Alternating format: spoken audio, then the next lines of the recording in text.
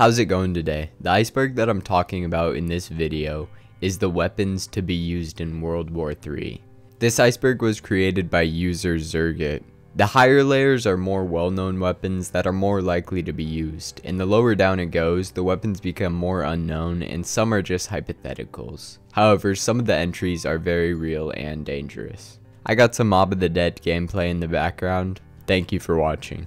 Starting with layer 1, new conventional firearm models. An example would be the newer models of AK-47 assault rifles being the AK-19 and the AK-15. New conventional military vehicles. An example would be the Armata tank. Light machine guns. Conventional machine guns are very heavy and impractical. These ones have a reduced size with light materials. Adaptable mobile bullets or bullets with 100% accuracy. There's two concepts in play here. The first is a bullet that is airborne and before reaching its target, it can be configured to adapt to weather conditions, such as wind, snow, rain, sandstorm, or humidity. The other concept is that of a bullet that's capable of altering its trajectory. By combining these two, one could create a 100% accurate bullet. Metal Storm a super machine gun capable of firing thousands of projectiles per second, created by an Australian company. The purchase of this weapon was cancelled, but the model still exists and is functional.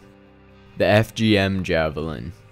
This is an American-made, portable man anti-tank system. It's been in service since 1996 and is continuously upgraded. It's the most powerful shoulder-mounted missile launcher. Now on to layer 2. Sarin gas. This is a colorless and odorless liquid used as a chemical weapon. Due to its extreme power as a nerve agent, sarin is widely considered a weapon of mass destruction. In mid-1939, the formula for the agent was passed to the chemical warfare section of the German Army Weapons Office, which ordered that it be brought into mass production for wartime use. Pilot plants were built, and a high production facility was under construction, but it was never finished by the end of World War II. By the end of World War II, estimates for total sarin production by Nazi Germany range from 500 kilograms to 10 tons. Production and stockpiling of sarin was outlawed as of April 1997 by the Chemical Weapons Convention of 1993. It's classified as a Schedule 1 substance. Sarin in its purest form is estimated to be 26 times more deadly than cyanide. Mustard gas. As a chemical weapon, mustard gas was first used in World War I and has been used in several armed conflicts since then, including the Iran-Iraq War, resulting in more than 100,000 casualties. Mustard gases are extremely toxic and have powerful blistering effects on victims. Anthrax. A lethal virus that affects the respiratory tract. It was used in a bioterrorist card attacks in the 1990s by a cult in the Japanese subway. In 2001, powdered anthrax spores were deliberately put into letters that were mailed through the US postal system. 22 people, including 12 mail handlers, got anthrax, and 5 of these 22 people died. Anthrax spores are easily found in nature, can be produced in a lab, and can last for a long time in the environment. It makes a good weapon because it can be released quietly without anyone knowing. The microscopic spores could be put into powders, sprays, food, and water. Because they are so small, you may not be able to see, smell, or taste them. White phosphorus. The phosphorus would be in a solution of carbon disulfide. When the carbon disulfide evaporates, the phosphorus bursts into flames. The same formula was also used in arson in Australia. It is called the White Death due to its lethality. The British Army introduced the first factory-built white phosphorus grenades in late 1916 during the First World War. White phosphorus munitions were used extensively by the US forces in the Vietnam and by Russian forces in the First and Second Chechen War. White phosphorus grenades were used by the US in Vietnam to destroy Viet Cong tunnel complexes as they would burn up all the oxygen. However, white phosphorus is not forbidden by the CWC if it's used within the context that does not require or does not intend to use the toxic properties of it. White phosphorus is normally used to produce smoke to camouflage movement. Orange Agent Upgrades Agent Orange was a herbicide used during the Vietnam War. Improved versions could be used to create famine in enemy countries and contaminate the soil. VX and Novichok. These are nerve agents capable of killing a person in minutes just by touching them. The VX is British and the Novichok is Russian. Russian scientists who developed the nerve agent claim they are the deadliest ever made, with some variants possibly 5 to 8 times more potent than VX. In the 21st century, Novichok agents came to public attention after they were used to poison opponents of the Russian government. Layer number 3 The Schwerer Gustav was a giant rail-mounted cannon capable of easily destroying urban structures built during the Third Reich's regime in Germany. It was impractical but very intimidating. If any power wishes, they could build an improved model. The MQ-9 Reaper. The General Atomics MQ-9 Reaper is a UAV capable of being remotely controlled or autonomous flight. It was designed for the United States Air Force. Little Killer Drone Swarms. These would be small drones loaded with ammo or explosives to attack very specific targets, similar to what Ukraine and Russia are doing. Satan's Missile a Russian super missile capable of destroying a large region. The United States has similar models. The first contract for the production of the Satan's missiles was signed in August 2022. Hypersonic torpedoes. Torpedoes are much slower when compared to missiles. With the physics of water, hypersonic torpedoes are much faster. Hypersonic intercontinental missiles that are non-nuclear. These are very fast missiles that would be on the same continent they were fired on without any nuclear capability. Acoustic weapons. These would be weapons that use sonic frequencies to damage opponents. Extremely high power sound waves can disrupt or destroy the eardrums of a target and cause severe pain or disorientation. This is usually sufficient to incapacitate a person. There are less powerful sound waves that can cause humans to experience nausea or discomfort. It has been reported that sonic attacks may have taken place at the American Embassy in Cuba in 2016 and 2017. It has also been reported that China has developed the first handheld portable sonic gun to target protesters. Military vehicles controlled by AI. This is pretty self-explanatory. It's just a self-driving vehicle that can operate on its own. Advanced robots. Boston Dynamics already has advanced models of various types of robots. It would be the same thing but applied to military. Advanced exoskeletons. These would be exoskeletons that grant more strength and resistance to soldiers. China has an exoskeleton model that is used for carrying ammo. At this point in time, it can provide around 45 pounds of assisted strength to the user. Layer number 4. Thermobaric bombs are munitions that are designed to produce more heat and overpressure than conventional explosives. They do this by exploding a vapor. Their main use initially was in airborne fuel-air explosive bombs. While the United States has concentrated on airborne weapons, Russia has produced thermobaric weapons and warheads, from airborne bombs to rifle grenades. Thermobaric weapons have been around for over 60 years and their main damaging effect is through primary blast the father of all bombs. This bomb is reportedly similar to the US military's mother of all bombs. This weapon would therefore be the most powerful non-nuclear weapon in the world. The father of all bombs was successfully field tested in the late evening of September 2007. The new weapon is to replace several smaller types of nuclear bombs in the Russian arsenal. According to the Russian Deputy Chief of Staff, the new bomb was smaller than the mother of all bombs, but much deadlier because the temperature at the center of the blast is twice as high. Tsar Nuclear Bomb The Tsar bomb is the most powerful nuclear weapon ever created and tested. The Soviet physicist Andrei Sakharov oversaw this project. The project was ordered in July 1961 as part of the resumption of nuclear testing after the test ban, with the detonation time to coincide with the 22nd Congress of the Communist Party. It was tested on the 30th of October 1961. The test verified new design principles for high-yield thermonuclear charges, allowing, as its final report put it, the design of a nuclear device of practically unlimited power. A secret US reconnaissance aircraft named Speedlight Alpha monitored the blast, coming close enough to have its paint scorched. A 100 megatons nuclear bomb. the Tsar bomb could have theoretically yielded as much as 100 megatons, but it would have resulted in a dangerous level of nuclear fallout. The radius is 65 kilometers, and the estimated number of victims would have been about 2.5 million people. Hydrogen bombs. An H-bomb is a second generation nuclear weapon design. Its greater sophistication affords it vastly greater destructive power than the first generation of nuclear bombs. However, detailed knowledge of fusion weapons is classified to some degree in virtually every industrialized nation. In the United States, such knowledge can be classified as restricted data. Neutron bombs. A neutron bomb, officially defined as a type of enhanced radiation weapon, is a low-yield thermonuclear weapon designed to maximize lethal neutron radiation, while minimizing the physical power of the blast itself. Initial development was carried out as part of the project Dove and Starling, and an early device was tested underground in early 1962. Designs for a weaponized version were developed in 1963. The Trident SLBM this is a submarine-launched ballistic missile, built by Lockheed Martin Space in Sunnyvale, California, and deployed with the American and British navies. It was first deployed in March 1990 and remains in service. R-36 ICBM The R-36 is a family of intercontinental ballistic missiles designed by the Soviet Union during the Cold War.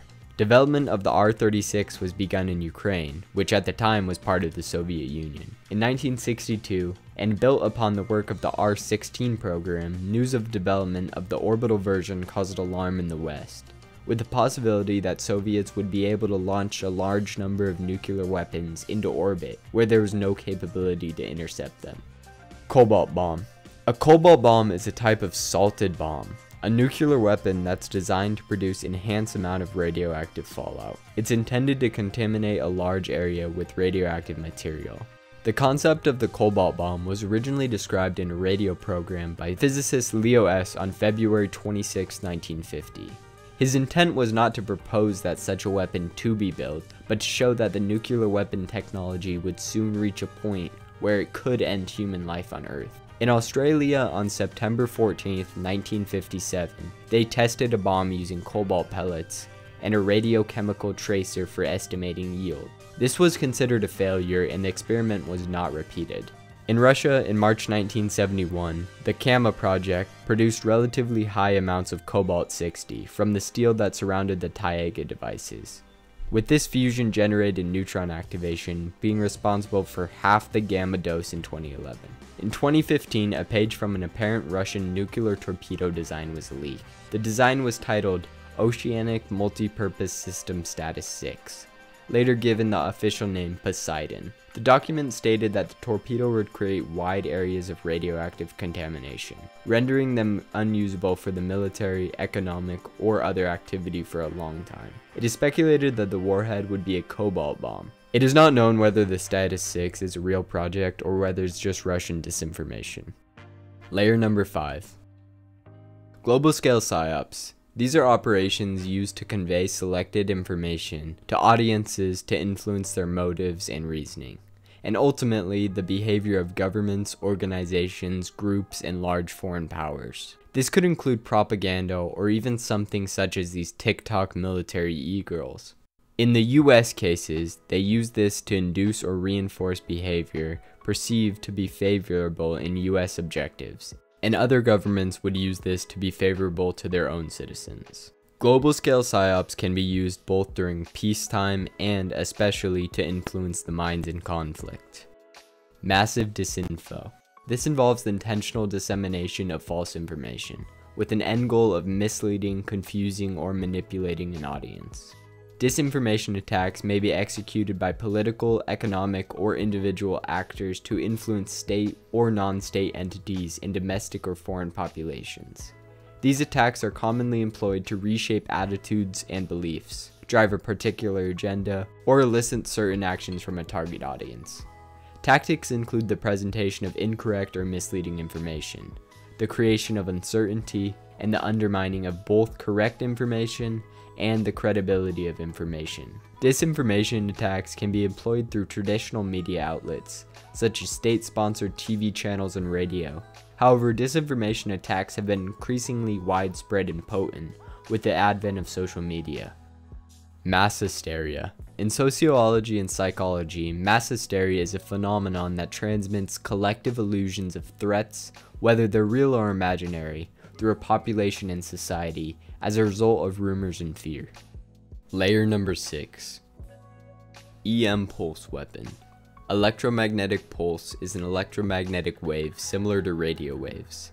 It differs from the usual radio wave in two important ways. First, it creates much higher electric field strengths, whereas a radio signal might produce a thousandth of a volt or less in a receiving antenna, an EMP pulse might produce thousands of volts. Secondly, it is a single pulse of energy that disappears completely in a small fraction of a second. It is rather similar to the electric field from lightning, but the rise in voltage is typically a hundred times faster. This means that most equipment designed to protect electrical facilities from lightning works too slowly to be effective against EMP. There's no evidence that EMP is a physical threat to humans, however electrical or electronic systems, particularly those connected to long wires such as power lines or antennas, can undergo damage. This could be actual physical damage to an electrical component, or just a temporary disruption of an operation. An attacker might detonate a few weapons at high altitudes in an effort to destroy or damage communications and electric power systems. It can be expected that EMP can cause massive disruption for an indeterminable amount of time and would cause huge economic damages. Zero Day Breach Malware Zero day is a broad term that describes recently discovered security vulnerabilities that hackers can use to attack systems. A zero day attack takes place when hackers exploit the flaw before the developers have a chance to fix it. Massive hacking activity. Keeping this one simple, different governments around the world do and will continue to hire hackers to find flaws in their data. This could also be used as a weapon with governments trying to hack into each other's data. Military AI. This could include anything from AI drones, self-driving cars, or something such as AI robots. Layer 7 Chimera. This provides its key stakeholders with the ability to have maximum situational awareness for their cryptographic networks. In the past, you could only see a small portion of the network at any given time, and had to physically switch between multiple platforms to piece together a full picture of the network. Chimera allows a full view of the network from one location on a single software platform, acting as a dashboard for the configuration of national security agencies. It is a Type 1 defense networking product that protects both unclassified and classified networks and assets.